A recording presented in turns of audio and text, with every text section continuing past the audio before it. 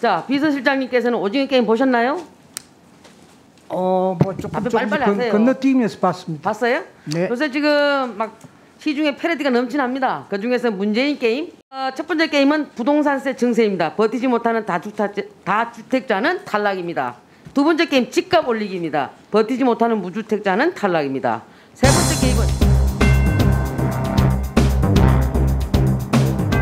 아니, 문재인정부 아픈. 곳입니다. 예. 예, 송스럽죠? 그러나 최선을 예. 다하고 있다는 아니, 최선을 말씀드리겠습니다. 송스럽잖아요. 어쨌든 한번 살펴볼까요?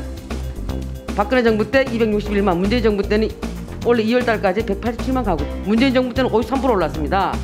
반대로 박근혜 정부 때는 27%. 시중에서 나오는 말들이 뭐라 하냐면은 좌파 정권은 부동산 불패다. 이 불패라는 게 잘해서 불패가 아니고 인정하신 인정 인정하지 않죠? 예. 당연히 인정 안 합니다. 인정 안 예. 하죠? 예. 근데 지표가 이렇게 나왔는데 어떻게 인정 안 아니 하십니까? 지표라는 것은 어떻게 아닌 것도 뭐뭘 맞다고 맞는 인용을 것도 해서 어떻게 하는데. 해석하느냐 차이가 있겠죠. 예? 시간을 주십시오 그러면. 그러니까 나가 나가 시, 시, 사회자님만 달라서 저 사회자님한테 시간 달라세요. 난 달라지 마시고. 네, 시장님 드리겠습니다. 그래도 대통령이 40% 지지율을 가지고 있는 분입니다. 정말 최선을 다하고 있습니다. 그러니까 지나치게 좀 폄훼하지 않았으면 좋겠다는 말씀을 좀 답변 다 되셨습니까, 사장님? 예, 뭐 수표 같은 거 저도 뭐 자료 그려놓고 낼 만한 준비가 안 됐습니다. 기회 있을 때 하겠습니다. 예, 우리 이미자 의원님 수고하셨습니다. 아, 다음은 감사를 계속하겠습니다.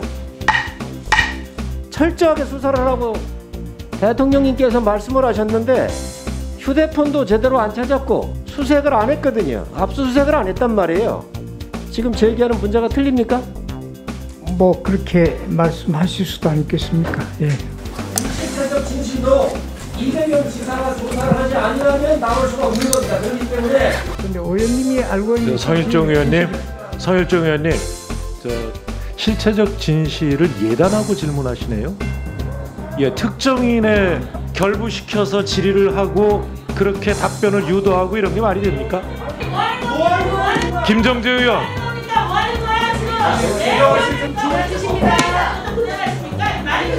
법사위 얼마나 잘 운영했는데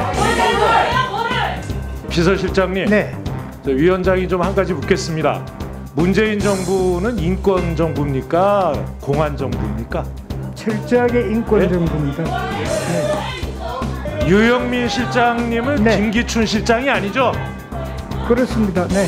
민정수석은 우병우나 곽상도가 아니지 않습니까? 그렇습니다. 무차 제가 나는 내 의견을 이야기할 뿐이에요.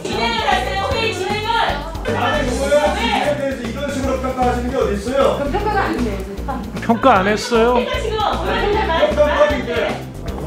법사위에서 하는 거를 여기서 그대로 하시네 정말. 어머.